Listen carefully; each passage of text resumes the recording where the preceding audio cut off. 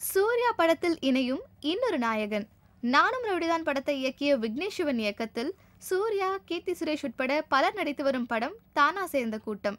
படத்தின் பெரும்பகுதி படப்பிடிப்பு முடிவடைந்து தற்போது இறுதிக்கட்ட படப்பிடிப்பு நடைபெற்று வருகிறது. பத்து நாட்கள் நடைபெறவுள்ள இந்த படப்பிடிப்பில் நவரச நாயகன் கார்த்திக் ஒரு முக்கிய வேடத்தில் நடிக்கிறார். நானும் ரவுடிதான் படத்தில் கதாநாயகன் விஜய் சேதுபதி என்றாலும் ஒரு முக்கிய வேடத்தில் பார்த்திபனை நடிக்க வைத்திருந்த இயக்குனர் விக்னேஷ் சிவன் அது போன்ற ஒரு முக்கியமான பாத்திரத்தை இந்த படத்தில் கார்த்திக்கிற்கு கொடுத்துள்ளாராம்.